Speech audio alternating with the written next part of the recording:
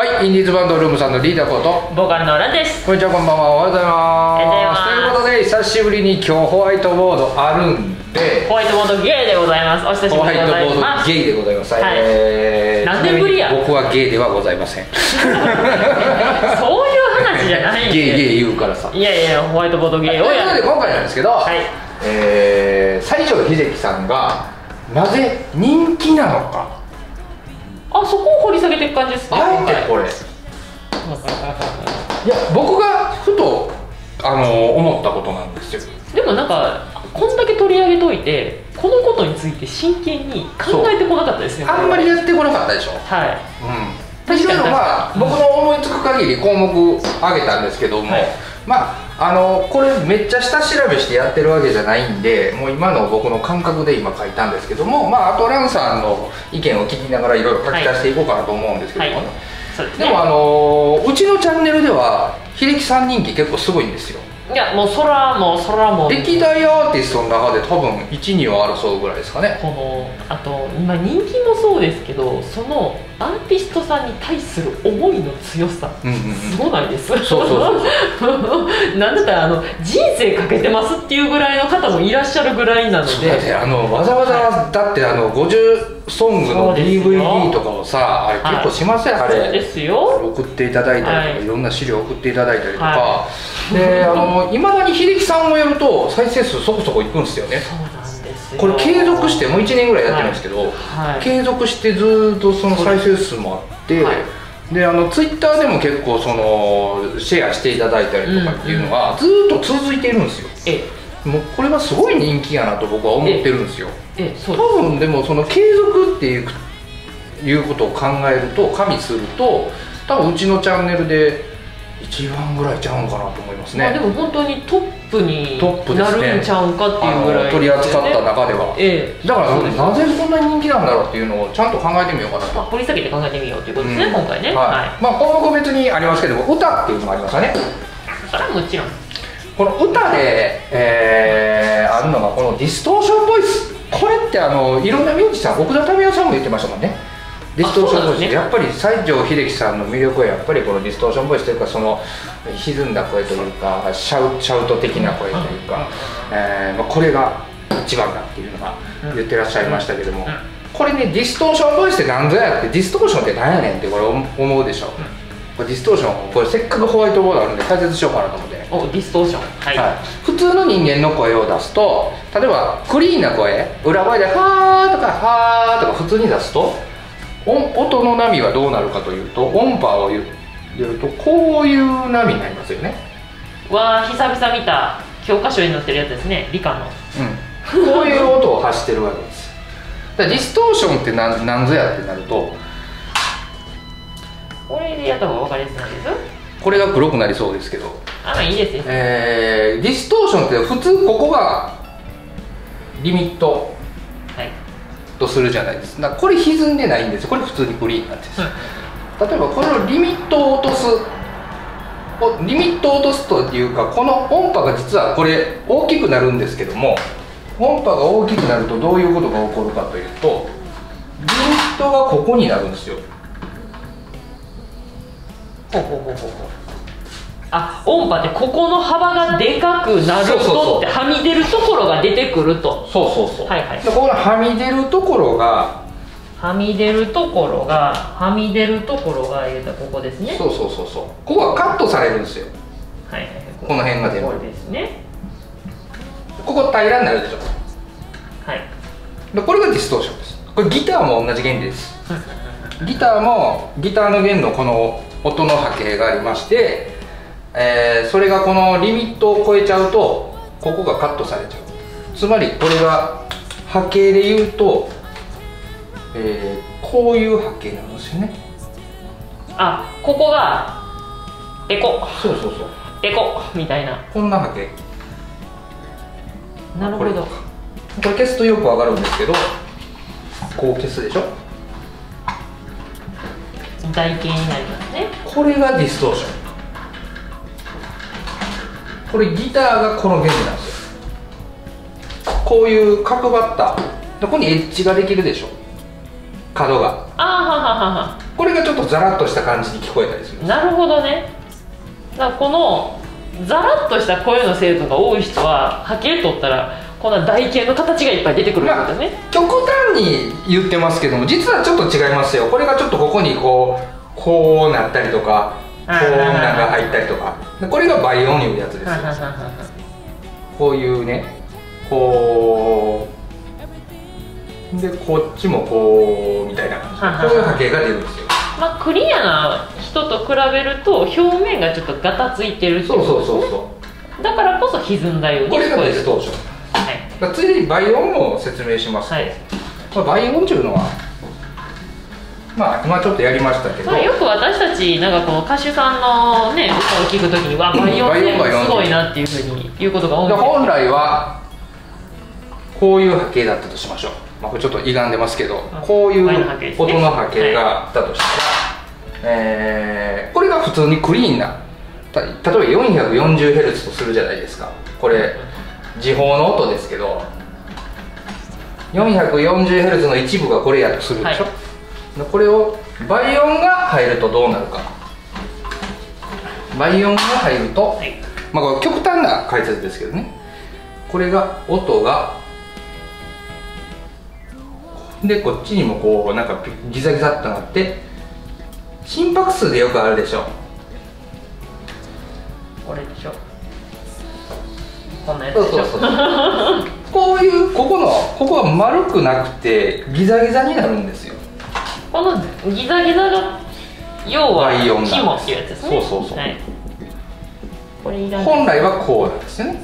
本来こうやけど、うんうんうん。これちょっとギザギザになったりするのが倍音これが倍音の成分だったりします。まあこれがいわゆる雑味となってその芯の声に付随してくるなんかこう聞こえるようで聞こえないようでっていう音になってくる。でこれ電気信号でいうとこれ難しい話だけど電気信号でいうと実はこれノイズっていうんですよね、はいはいはいノイズ。ノイズとか あの波形の歪みとか言うんですけども、そういうことになるんですね、うん。でこれがこの成分のこのギザギザの成分の違いによって声が質が変わったりとか、でさっきのディストーションボイスあのリミットがここに来たやつね。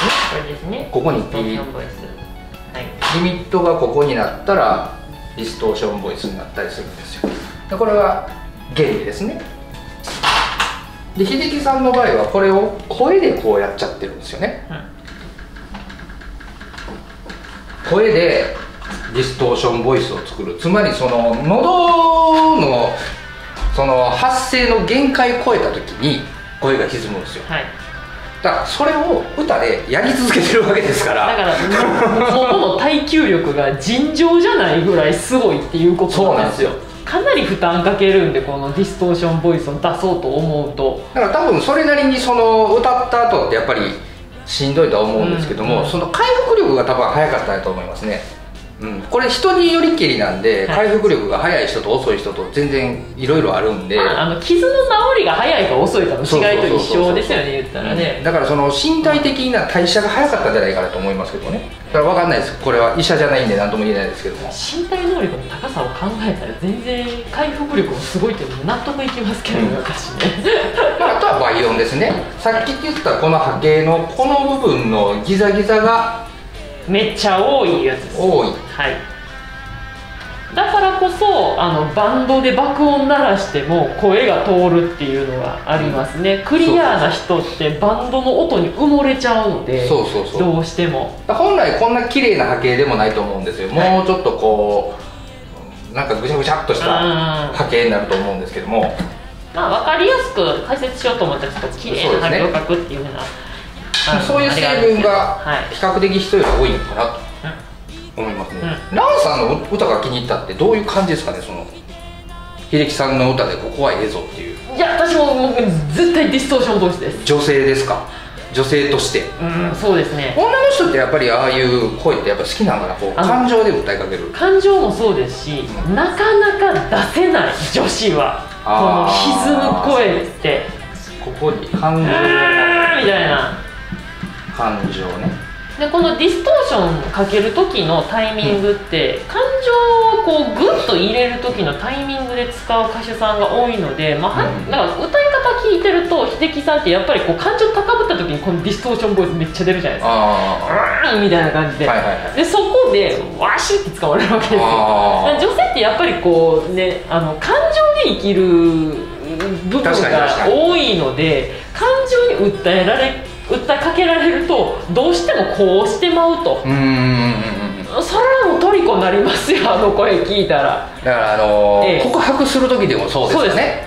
なんかこうして「す好きです」って言われるか言われるよか「お前好きやねって言われた方があっこれ奪い取るぐらいの感じにした方がいい。そうです。確かにそう考えたらはい。秀樹さんって「君のハートを奪い取るぞ」的な歌唱ですよね。そうですよ。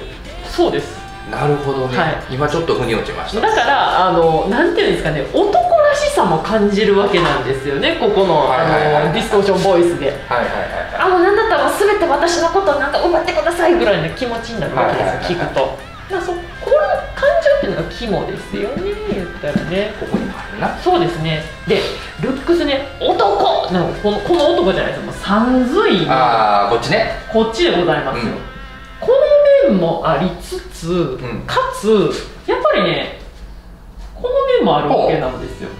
直さんすいません。王子か。はい。王子ね。これあのそうか。そうです。デビュー当初もこの要素多かったんですよ。あ確かに確かさにであのー、なんかいろんな DVD 見たけども、はい。そういう格好をしてる時もありますよね。はいもう王子様でもありつつでも年齢重ねられるとどんどんね男の色気っていうのが出てくるどんどんこっちに寄っていくんですよ。こていくわけねこう。だからね一人で何度味わえるんやろみたいな感じなんですよ。私からしたら。ほんでもう一番好きなのはもうずっと言ってるんですけど単発秀樹さん。単発秀樹さん。ね単発秀樹さんもうねワイルドな感じ好きなんですよ私。こっちの秀樹さんの方が私的には好みなんですけどでもなんか全部の秀樹さんの歴史を見るといろんな顔を持ってらっしゃるのですごく楽しめるんですよね。だかあらあの前、えっと、NHK でやってる番組ですかね。あのひ秀樹さんのあのそのあのーライブの前の編成を見るっていうのを見た時に、この時代はこのコンセプトでやったこの時代はこのコンセプトでやってたっていうのがあったと思うんですけど、全然違うん。ですよだから急になんかあの最初はこのキャラで出てきたけどもどんどんこっちにシフトしていこうかみたいな感じの時に、うんなんか結構ワイルドな歌が多かったりとか動物のこんな形のなんかこう振り付けも多かったりとかっていうのがあったりとかするじゃないですか。ちょっと大人の歌詞の歌もある。そうです。大人の歌詞だったりとかちょっとこう野獣な感じのね、うん。あの雰囲気出してみたりとかっていうのがあったんで、そこら辺がねもうよだれがもうずっと出とるみたいな。こうやって。ランさんそっち好きですからいねや大好きなんですよ。大好きなんですよ。ルックスはでももちろんもう足長い。もうスタイル抜群。足ってどういう格好やったっけ？足長い。足長い。いや足長い。これじゃなくてこっちの足でしょ。ああ。足ここっちの足ですか？あそっちの足でしょこっちの足ですね。そうそうそうはいう腕も長い。足と腕が長い。手足長い。あの外国の方ばりの体格じゃないですか。顔ちっちゃいし背高いし手足長いし。だからこそダンスめっちゃ入るんですよ。そうなんですよね。あのねダンスってだから日本人ってダンスあんまなんか目立たんよねって昔から言われるやん。でやっぱりこうんの手足が短いっていうのはやっぱりどうしても日本人そのあの西洋人と比べたらですねクラシックな踊りが映えないですうん 日本の方。バレエとかあのなんていうんですかラインダンスだったりもそうなんですけど今はあの手足の長さを生かさない身体能力だけでやっていけるうんブレイクダンスとかすごいですよ。今日本人はなんか体全部で使うっていうやり方のやつだったらいけるんですけどもう昔の踊りなんて手足長なかったら映えませんやんみたいな踊りが多かったん特にでマイケル系ね。そうですマイケル系の踊りってはい。もうあれマイケル用にできてるんで。あれあれと同じ体格やないと全然全然みたいな。身長180ぐらいなかったら無理ですよねね。ええ。日本人があれ結構コピーしたりするんですけどやっぱりこうちまちま感が出てまうっていうかな。規模がちっちゃいみたいちっちゃないね。まあこの体格はでも非常に恵まれてますよね。だからね本当にあのなんていうのかなあの本当に日本人離れというか、うんうん本当にこの世のものって思えないぐらいのフォルムをされてるんででそれちょっとねあの私ずっと言ってるのがもうちょっと若干色黒なんもええんですよ。そうそうそう色黒。そう。これは色黒。これどうな地黒なのか日焼けなのかいやって感じですね。地黒や思います。もともとの肌の色が。うん地黒。うん。これいいですよねやっぱりねこれ健康的にだからジュリーと見え方違うの、うん。結構ここ大きいと思うんですよね。は肌がちょっとあの、地黒かなっていう。でジュリーとかは白いやん。で白いから、うん。どっちかというとほらほら X の YOSHIKI さんみたいな。はいはいはいはい。あんな感じの見られ方にちょっと近いものがあるのかなと思いますけども。秀樹さんはやっぱり男らしくこうそうです。で水泳もされてたっていうことで、まあ、スポーツ万能っていうことなんで、まあ、スポーツマンですからね。そうですよ。だからもうね女子の理想が詰まってるのよここにね。ほんまに。なるほどね。は奈緒さんあんまり色白好きじゃないもんな。い色白の。どうなんやろ？これ女子ってどうなんやろ？女子っていうかあのあでもねこれ好み分かれるんですよ分かれるんですかね？は。あのやっぱりその男性でもいるじゃないですか、うん。スレンダーな人が好きとか。はいはいはいちょっとあのムチっとした感じが好きとか、はまあ、中にはちょっとこうふくよかな方が好きっていう方もい。らっしゃるじゃないですか、あのなんか女性も一緒ですよ。いでも僕ね女性の好みの方がバラバラやと思うんですけどね。あの男性の好みって大体似通ってるところがありますよ。大体同じの好きですよ。あのその特殊な人は置いといて。あ、まあ、私は除いといてですよね。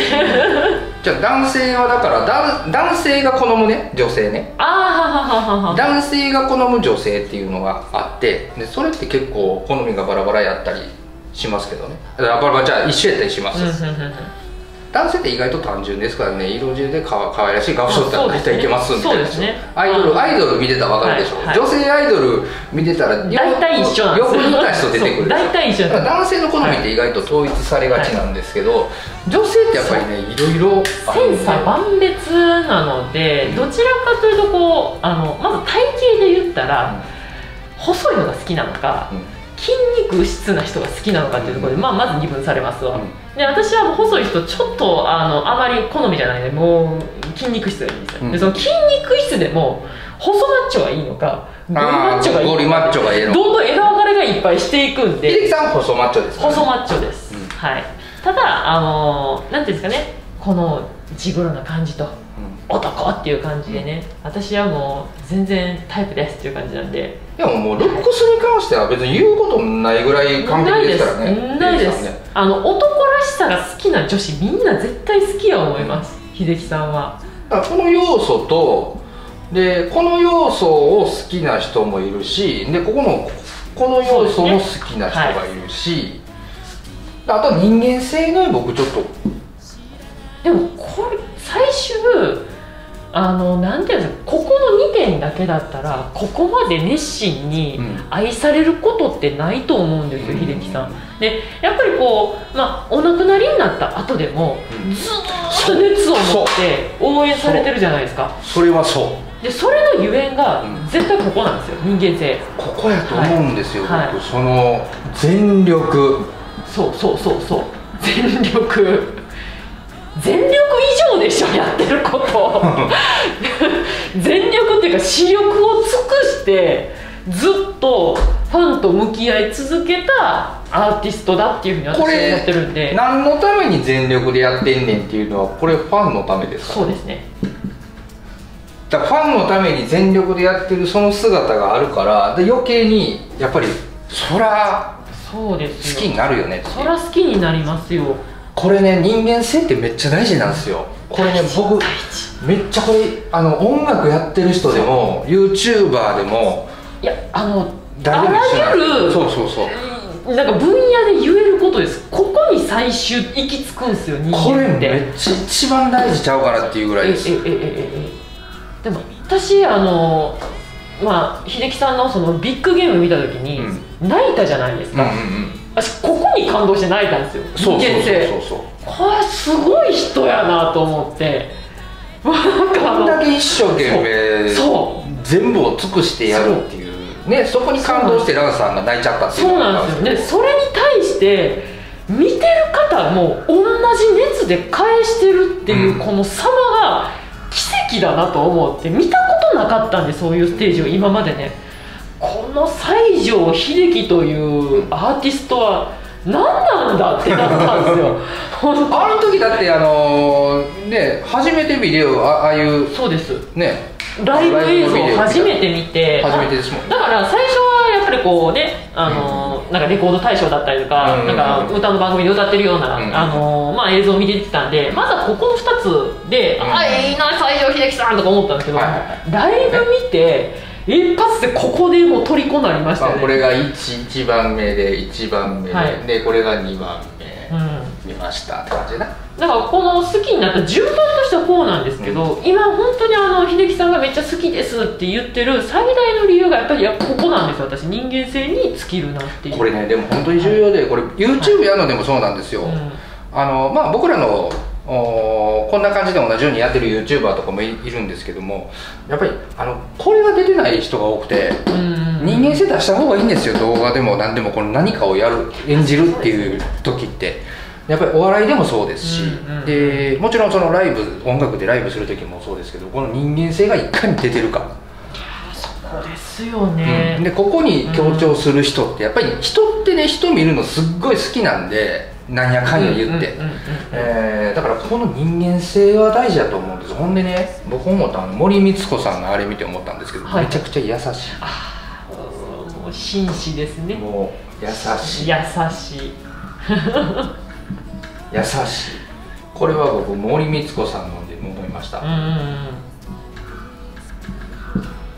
本当に最後までこうちゃんとエスコートしてね、真摯にエスコートして。紳士ですなと思って。もう森光子さんのことをもう本当のお母さんぐらいに思ってやってたでしょ、う。ん、だから東京の母って言ってたじゃないですか、森光子さんのことを、だやっぱりねあの人間性っていうか人間力も高いと言いますか情に熱い方ですよね、その話聞いた時に。これがだからここにつながるんですよ、はい私情に熱い人大好きで自分自身もなんかあの 人情で生きてるところがあるんでだからそこら辺はなんかすごい親近感って思っちゃうんですよ私自身はね。なんかこう遠い存在のようでなんかこう秀樹さんの方から寄り添ってきてくれるんで、はいはい。なんか遠いようで近いようでっていうなんか不思議な存在なんです、うん。やっぱりそれはみんな夢中になるよねっていう話ですよね本当にやっぱり人間性もやっぱりしっかり出てるのと、うんうん。やっぱりこのモテるよね。男らしくて、うん。優しくて、歌うまくて、うん。それはモテるがな。持ってます。よ嫌いな人見ないから嫌いな人おれへんから。で 最後なんですけどこれ技術。うん。技術はでも楽器もともとドラマーですからね、うん。だからミュージシャンとしての能力も非常に高い方ですよね万能やんいう話じゃないですか。もうこんなん全部あげたら、ただねあのドラムの映像がもうちょっとねどっかにあればいい欲しいですよね。欲しいですよね。なんかの DVD に入ってないんかなとか思いつつうーんちょっとまだ少少ないような気がするんでそれじっくり見たいなと思うんですけど体がやっぱり体格しっかりされてるんで、それもあってかヒットもめっちゃでかいっすよね、カーンっていうね。ドラムってやっぱりスポーツマンが叩くのがいいですよ うちも前にいたドラムがスポーツマンっていうかちょっと筋肉バカというわけじゃないですけどちょっと筋肉系の子やったんで結構ヒットの高い高い。すごいですよ。ドラム破れるんちゃうかっていうからすごい音鳴らしとスタジオ入るとうるさすぎて全楽器が聞こえ聞こえないっていう。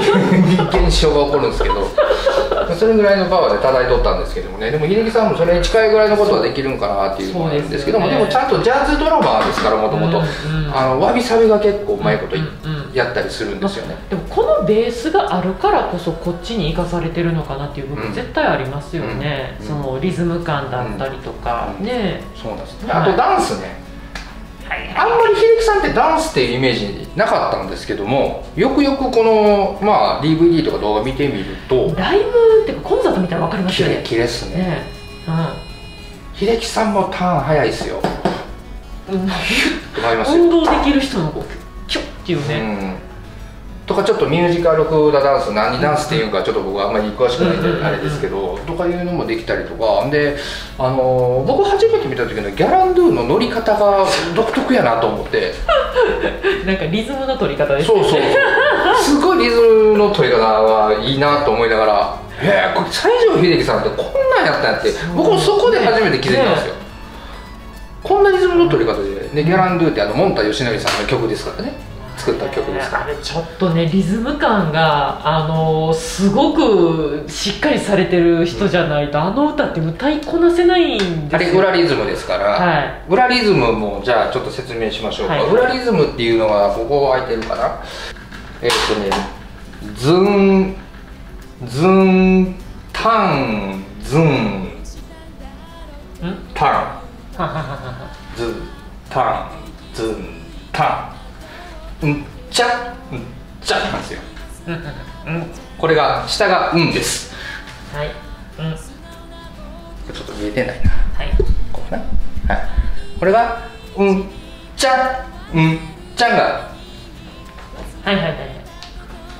8ビートなんです。あの表の表紙ですね、表。でこれをあの秀樹さんの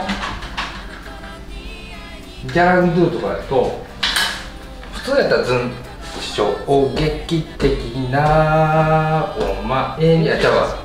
えー、衝撃的ズンズンここやリズムが難しいからちょっと混乱してますこれで解説するの意外と難しいな。でえー、裏リズムの場合はここズンチャンズンチャンが入るんですけど、うん。ズンタンズンタンってこっちで取るんですよ。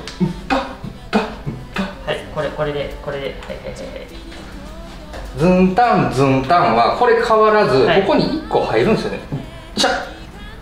チャッっていうのがこのだからあ3のタンの前に入るんですよね。はいはいはいはい。ここにズンチャ。ズンズンチャだから言ったらパンパンパンじゃなくてそうそう。っていうことですよね。チャだから表と反対の表紙を取るっていうやり方ですよね。キャップこれちゃいますよ。だからランさんが例えばズンタンズンタンタンズンタン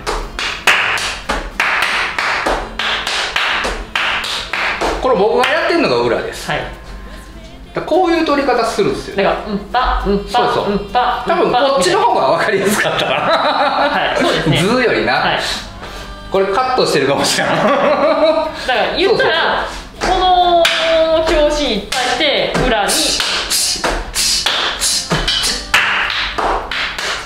そうそうそう。っていう感じのこういうリズムが入るんですよ間あのにコウさんの合いの手が裏になるっていう。そうそう。それが裏に。難しいんですよこの裏の合いの手が。なぜかというと日本人って表の表紙の曲を聴いて育ってきてるんでリズム感が表でもう刷り込まれてるんですよね。そうそうそうそう、はい。で私も日本で生まれ育ってるんでもう韓国の人間なんですけれども表の表紙の方が得意なんですよ。日本人は1でそうです。やるんですよ。1で、はい。えー、た演歌みたいな感じです。ダラララダダあの月が出たんか大体演歌の影響があってこう位置で撮ることが多いんですけども、うんうんそうですね。まあ洋楽ってこの裏のパッパッそう裏の表紙なんでもうもろあれ裏の表紙じゃないですか。うん。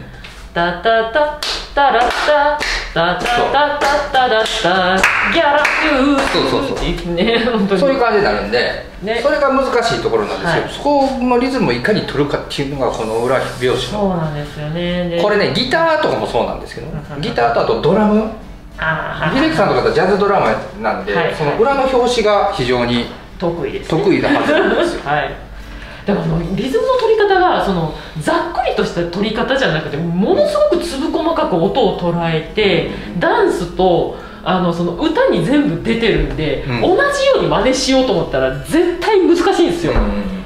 この妙な間のところができないとかっていうの必ずなるんで、鬼やなリズムかーって思いながら私は聞きつついやかっこいいわ単発って思いながら 忙しかったんですよあの時。えーみたいなで思わずもう心の声出ましたね。付き合いたいわー言ってあの時。ね あのそうですね。あの西城秀樹さんは結構男性ホルモン出てる系の人そうなんでですすよよね。ね男って感じの、だからあの女性がもう本当にメロメロなるんですよほんまに。あもう私もなんかこんなんなるとは思わなかったんで実際この取り上げてからね。はいだはいはい。からあの女性のファンの方が、まあ、あのコメントを見る限りなんですけれども多いかなって感女性の方が多いのかなっていうところのまあ、男性も一部部おられますけどそうですね。でもそこのゆえんがやっぱりあの男性ホルモン出てますって男秀樹っていう感じが全面的に出てるのが。スポーツ。だってこれ、まあ、技術の中にもこれスポーツ入るけど、はい身体能力すごいですもんね小学生の時でもさスポーツできる子ってモテたやんおそう女の子にモテるんですよしかも。めっちゃ腹立ってて俺 なんでやねんって思いなでもね足速い子めっちゃモテとったじゃがらモテないですか。た。あのねね。小学校の同級生で一番足速いやつおんねんけど、あはい。でそいつがいまだにやでもう35年ぐらい経ってんねんけど、同窓会した時にやっぱり一番モテんね そうなんや。んでその一番足速かった男があの好きやった子がおんねん。ああなるほど。で好きやった子が僕友達なのよ。ははははで話を聞くとその子が同窓会に行くともう周りの女子がだってあの好きそのモテてた男が好きやった子やから同窓会に行くともうこの子に行っちゃうやん。そりゃそうですよね。だから周りの女子がもうすっごい目で見るんだって。妬妬みそねみが。怖い。妬みそねみで怖い言うて「よいかん」言うて。言うてましたこの前。あのちょっと同級生と話してたんですけど。大変やなも。うそう。でもそれぐらいスポーツできる人ってね。そうですよ。スポーツできる人って、ええ。スポーツだってスポーツできて楽器できてでルックスが良くてで人間性が、ね優しいし、全力やし、でで歌がうまいどこに欠点 これ列挙してったらえもう完璧やんいう話ですよね。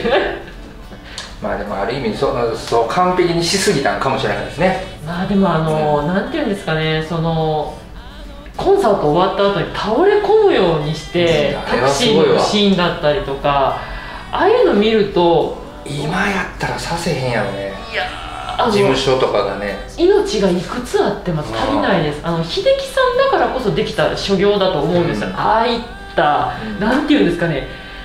なんか後ろを振り返らない感じがすごいじゃないですか、うん。もう僕はこれをやるんだって思いが強すぎて、だやっぱりもう秀樹さん自身もともと持ってるその体の強さっていうのをお若い時絶対あったと思います、普通の人がやったら絶対ど倒れるんで。うんでもう絶対に入院とか、うん。な何かしらの途中で活動止まるとかになるじゃないですか、なんかすごいですよね本当にね。だからこう命を懸けて西城秀樹を演じきったかなと。っていう方ですよね。ね。だから最後がやっぱりどうしてもそこの、まあうん。今まで積み重ねてきたものもちょっと重なったのかなとも思いつつでもやっぱりそうやっでて生き抜いたからこそここまでねやっぱりこう亡くなったもんね。やっぱり人より密度のじ濃い時間を歩んじゃったっていうのはありますよ、うん。多分そうなのかなとは思いますけどね、まあでもこれって秀樹さんだけに当てはまるのかって言ったら、もう本当そうじゃなかった同世代のやっぱりこうね歌手されてる方って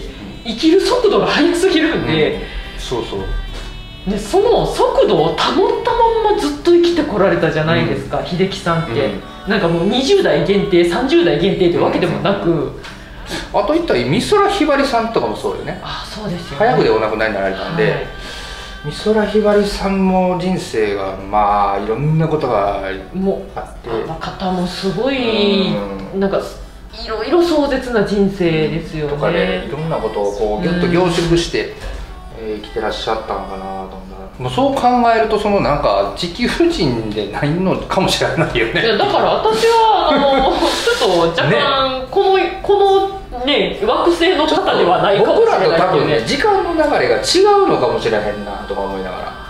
うん。絶対あると思いますけどね。あるかもしれないですよ。そそそれねほんまにそういうことがあるかもしれないですからね、うんうん。はい。まあそんな感じでねちょっと今回まだまだちょっと話し足りないところはあるんですけども、まあでもまだそれ別のジャンルでやろうかなと思ってるんですけど。でもこうやって文字にして書いてみるとやっぱ秀樹さんすげえっすね。箇条書きでもねこう書き出してみるとなんかいろんなことを、はい。あこことここがつながんねやとか、はつながるところが出てくるんですよね、やっぱすごいなと思って。例えば日焼けジグロってこのスポーツつながるし、うん。で楽器で実はこのダンスとかまあ歌にもつながる歌にもつながるわけやしあるんでこの足長いのダンス。これねいいわ絵がええいろんなこう相関図が本来はできんねやろうなと思いますですよね、はわあでもやっぱ完璧ですね秀樹さん、これであげたらほんますげえ完璧やっていうね、ちょっと箇条書きの感じにはなりましたけども、はい。今回ね、えー、西城秀樹さんがなぜこんなに人気なのかっていうのをちょっと軽くやってみました、はい、はい、ということでこれぐらいして終了したいと思います。はい皆様もしよろしければチャンネル登録の方よろしく。お願いします。ではでは毎日見てよありがとうございます